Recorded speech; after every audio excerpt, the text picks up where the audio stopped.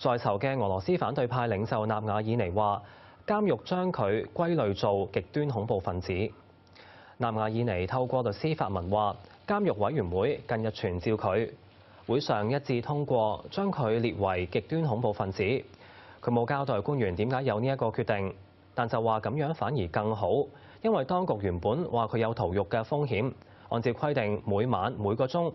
都嘈醒佢察看。佢話而家成為咗極端恐怖分子，反而就唔會再頻頻有人打攪。